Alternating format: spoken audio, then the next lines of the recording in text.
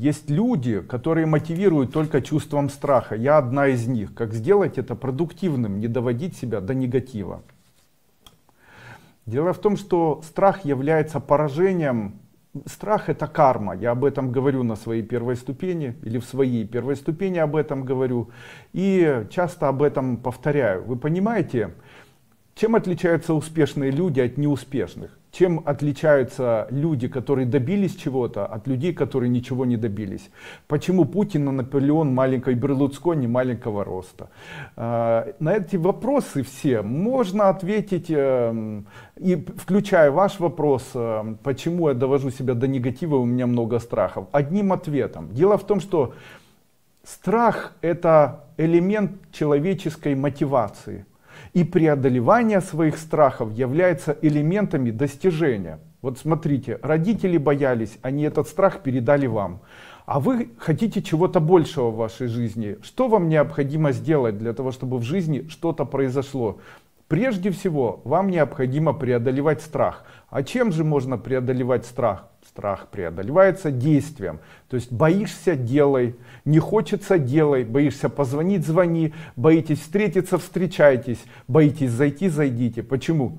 Если вы видите красивую обертку в виде президента Российской Федерации или президента Италии, то вы должны знать, что эти люди невысокого роста и, как правило, исходя из них, из их внешних параметров, э, как бы исходя из идеи конкуренции, не очень конкурентно способные на то время, когда они были молодыми, я могу сказать, что скорее всего они были более бесстрашными. То есть у этих людей были скорее всего решения, которые были нестандартные и были быстрые. То есть они принимали решения, они шли наперекосяк своим страхам, это точно, потому что каждый человек, который тысячу раз перейдет через свой страх, вот допустим, что разделяет вас, неуспешного человека, с тем успешным и богатым человеком, который будет жить в будущем. Вам необходимо на протяжении одного года тысячу раз преодолеть свои страхи. То есть вы боитесь это сделать, сделайте.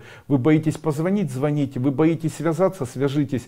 Вы боитесь написать, напишите. Вы боитесь запустить, запустите. Вы боитесь и так далее. Это все вы боитесь является помехой, которую необходимо вычленить и преодолеть. Как не доводить себя до негатива?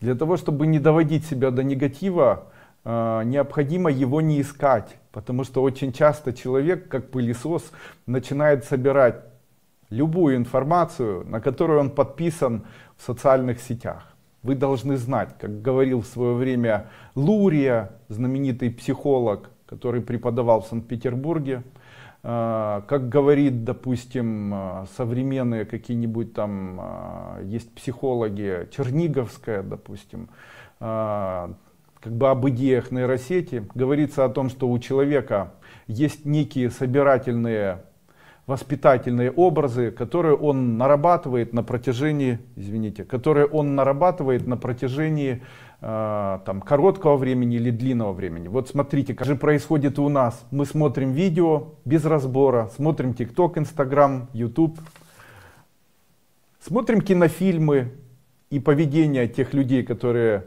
проявляются в виде поведения на экране оно интегрируется и деструктивно в большинстве своем может влиять на вас.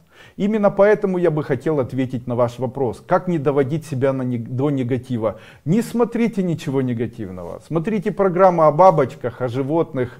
Смотрите программы о том, как прекрасен мир. Не смотрите политические, аналитические. Не смотрите там Соловьева, Киселева.